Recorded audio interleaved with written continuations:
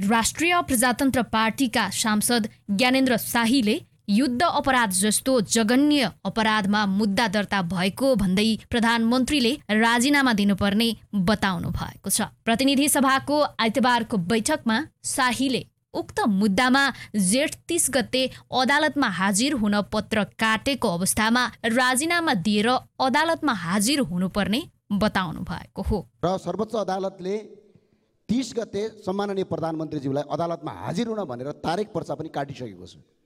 म यहाँ सोध्न चाहन्छु सम्माननीय सभामुख मार्फत यो तिस गते प्रधानमन्त्रीज्यू अदालतमा जाँदै गर्दा यो देशको प्रधानमन्त्री भएर जानुहुन्छ कि पुष्पकमल दाहाल प्रचण्ड भएर जानुहुन्छ?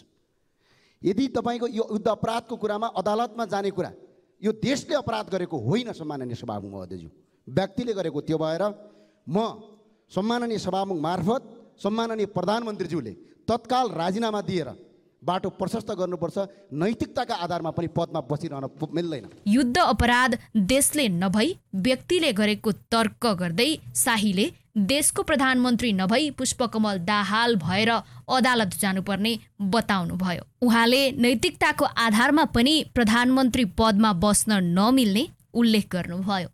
किनभने एउटा मुद्दा होइन सम्माननीय सभामुखज्यू। यो सामान्य कुरा होइन। युद्ध अपराध जस्तो मुद्दा अहिले सम्मानित सर्वोच्च अदालतले दर्ता गरिसकेपछि प्रधानमन्त्रीज्यू त्यो पदमा बसिरहन उचित हुँदैन नैतिकताका आधारमा पनि प्रधानमन्त्रीको राजीनामा दिनुपर्छ। शाहीले बोले लगत्तै माओवादी केन्द्रका सांसद माधव सापकोटाले सांसद शाहीले निरन्तर प्रधानमन्त्रीलाई गैर राजनीतिक तरिकाले लखेटिरहेको र हुर्मत लिने काम भएको भन्दै शाहीको अभिव्यक्ति रेकर्डबाट हटाउन सभामुखको ध्यानाकर्षण गराउनुभयो। भर्खरै मान्यज्यूले के आफ्ना कुराहरू राख्नुभयो? उहाँले हाम्रो नियमावलीको कुन धारा आकर्षित गरेर यी कुराहरू राख्नुभयो? र प्रधानमन्त्रीलाई उहाँले एकहोरो गैर राजनीतिक तरिकाका साथ लखेटिरहनु भएको छ र प्रधानमन्त्रीको हुर्मत दिने भनेको राष्ट्रको हुर्मत दिने हो म तुरुन्त भर्खरै व्यक्त गर्नुभएको मान्यका धारणाहरू रेकर्डबाट हटाउन माग गर्दछु सभामुख देवराज घिमिरेले सांसदहरूले राखेका विषयमा आफ्नो ध्यानाकर्षण भएको बताउनुभयो Radio Kathmandu 92.1 MHz. Change can happen.